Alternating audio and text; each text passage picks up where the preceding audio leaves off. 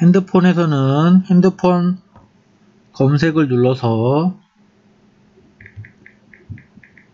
녹음기라고 입력을 하면 녹음할 수 있는 어플 나옵니다. 터치를 하고 빨간색 버튼을 눌러서 녹음을 합니다. 네모를 눌러서 저장을 하면 들어볼 수가 있습니다. 어, 녹음을 합니다.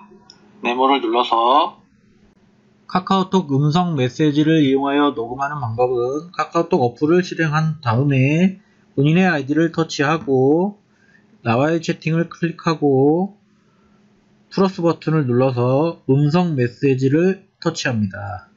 빨간색 버튼을 눌러서 신호가 나오면 녹음을 합니다.